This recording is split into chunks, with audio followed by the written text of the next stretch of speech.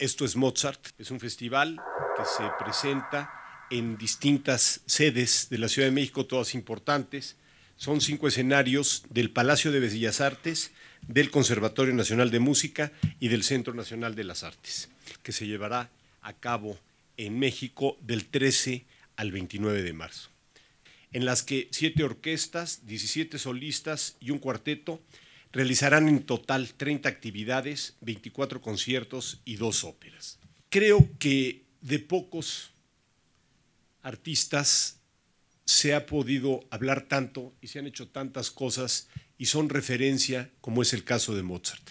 Por eso es para el público mexicano una extraordinaria oportunidad asistir a conciertos donde se presentan lo mismo una ópera que es el Cosifantute, una de las más conocidas, donde hay eh, música sinfónica, algunas de sus principales sinfonías, sus conciertos para piano, que estarán, eh, tendrán como solistas extraordinarios pianistas nacionales e internacionales. De violín también estarán extraordinarios solistas eh, en este instrumento y la presencia en una gala de arias de las distintas óperas de Mozart, que es la primera vez que se presenta Alfredo Daza, que no se presenta en un escenario mexicano desde hace ocho años. Quiero decirles que para el Instituto Nacional de Bellas Artes, eh, pues es un orgullo participar con sus grupos artísticos.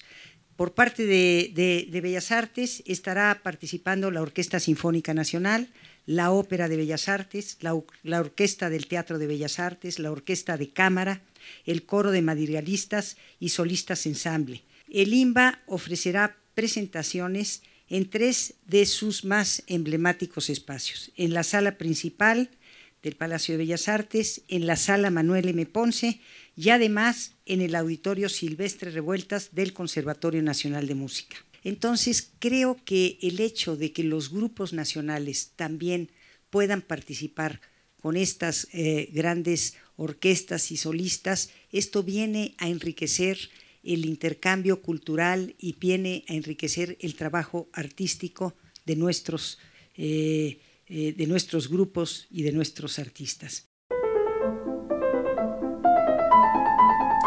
En el Centro Nacional de las Artes iniciamos actividades el día 13 de marzo con la presentación de una de las últimas óperas compuestas por el genio de Salzburgo, Così fan tutte. Tenemos un menú muy variado de 10 conciertos y óperas. Inician el día 13 de, marzo y van hasta el día 29.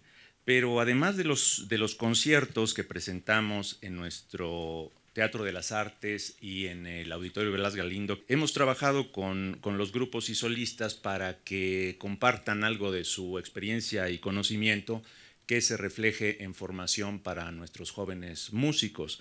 Y así tanto Alfredo Daza como Lars Vogt y Stefan Bladar van a ofrecer clases magistrales para los estudiantes del Conservatorio Nacional de Música y de la Escuela Superior de Música ubicada en el CENART. También es, eh, imaginamos desde el CENART que sería obligado a hacer un recorrido por la cinematografía que tiene como eje y centro de gravedad a, Mozart. De tal manera pues que todo esto será realmente un banquete musical para los eh, eh, aficionados, conocedores de Mozart y para la música en general.